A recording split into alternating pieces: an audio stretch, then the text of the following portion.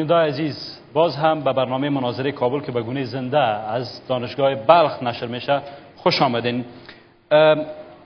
آقای ویسا سوال ما است که تغییر مسیر اکمالات ناتو از جنوب افغانستان به شمال افغانستان چقدر بالای وضعیت امنیتی تاثیر داشته؟ اکمالات ناتو از جنوب به شمال افغانستان به نظر ما این تاثیر مثبت سر امنیت سمت شمال داره و باید داشته باشه. به خاطر که ما در تکرارا به شما عرض کردیم که وظیفه اساسی و استراتژیک ما تامین آزادی حرکت است در راههای استراتژیک و تامین آزادی حرکت است در هر سه بندری که ما در شمال و شمال شرق داریم. و ما بر شما و بر بیننده های شما اطمینان میتیم که فکر اطمینان میتیم که امی transportation ی که توسط وسایط ناتو و یا وسایط تجاری ملی ما صورت میگیره. با پورا امن و حفظ درست به توکل خدا از ساحه امنیتی قلوردوی 209 شاهین تیر میشه تشکر. آقای شما پیشتر گفتین که یک از عوامل افزایش ناامنی یا گسترش ناامنی به شمال تغییر مسیر اکمالات ناتو بوده. به چی دلیل شما به باور هستین؟ در حال که جناس ویسا به باور نیستن. دلیلی که ناتو تصمیم گرفت که اکمالات خود از راه شمال بکنه ناامنی از مسیری که می آمد ناامنی بوده. اما مرجع امن یا راه امنی که نسبت به طرف جنوب و به طرف پاکستان بگوییم به او طرف بوده شمال بهتر بوده. به این خاطر هم کوشش کرده که ناتو به شکل آسانترش از راه شمال اکمالات خود بکنه که شمال یک منطقه امن و آرام به حساب می آنچه که در دیگه مناطق کشور وجود داره. و دو موضوع دیگه که توافق روسیه با ناتو که مسیر اکمالاتی را برش باز کرده این هم یک فاکتور عمده بر ناتو می باشه ولی به هر حالتش هر آنچه که به منفیت افغانستان باشه به سود افغانستان باشه چی از راه شمال باشه چی از راه جنوب باشه که به خیر ملت افغانستان باشه ما از استقبال می‌کنیم. ما به این حرف نیستیم که گویا ناتو از اینجا راه را تغییر بده که شمال ناامن نشود نه.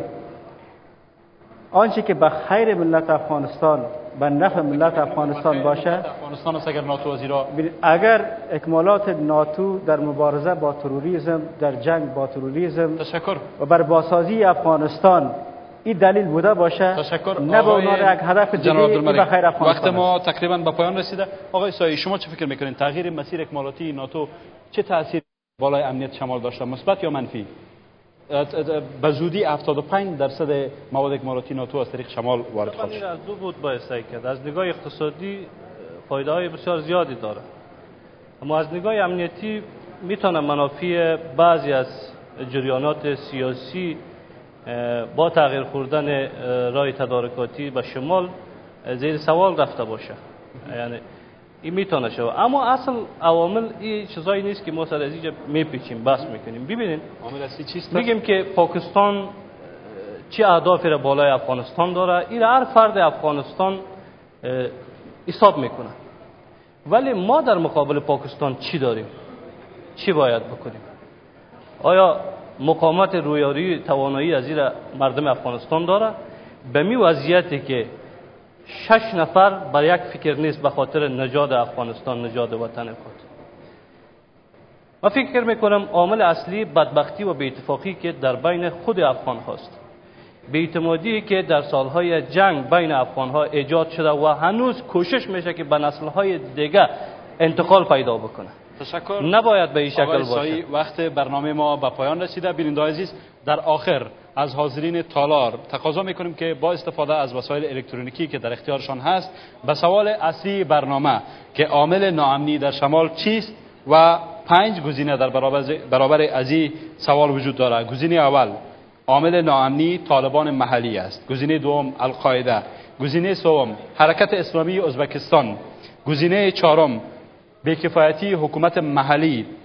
و گزینه پنجم همه. همه عوامل. لطفا با استفاده از وسایل الکترونیکی که در اختیار دارن به این سوال پاسخ بتن 20 ثانیه وقت وجود داره زمان شروع شده تا تقریبا 17 ثانیه دیگه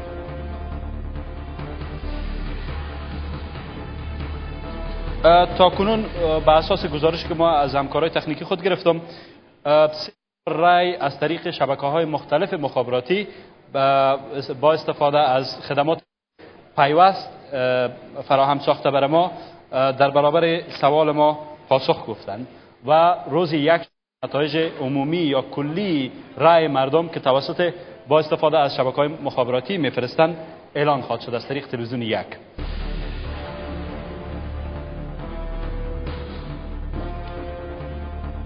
گزینه اول رأی که در داخل تالار دوستای ما دادن 5 درصد رأی گرفته. یعنی 5 درصد از تالار فکر می‌کنه که طالبان محلی عامل ناامنی هستند دو درصد تالار فکر می‌کنه که القاعده عامل ناامنی است. یک تنها یک درصد تالار فکر می‌کنه که حرکت اسلامی ازبکستان عامل ناامنی است. 13 درصد تالار فکر می‌کنه که بیکفایتی حکومت های محلی یا ولایت ها سبب و گزینه آخر یا همه 28 درصد آرای تالار را به خود اختصاص داده. بینید بحث ما مناظره ما در اینجا به پایان می‌رسه. با تشکر از حضور شما و با تشکر از دانشگاه که این زمینه را بر ما فراهم ساختن و با تشکر از مهمانان عزیز برنامه ما در اینجا به پایان می‌رسه. تا مناظره دیگر خدا یار شما.